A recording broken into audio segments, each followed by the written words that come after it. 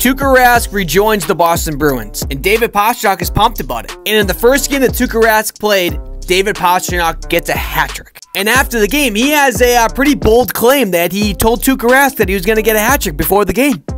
David, how did Tuukka look to you? Did he look like the same old Tuukka? Oh man, I was so happy to have him back. You have no idea. Uh, I was ready to leave it all out there for him. I told him I'm gonna get hat trick before the game, and, and he didn't believe me. And uh,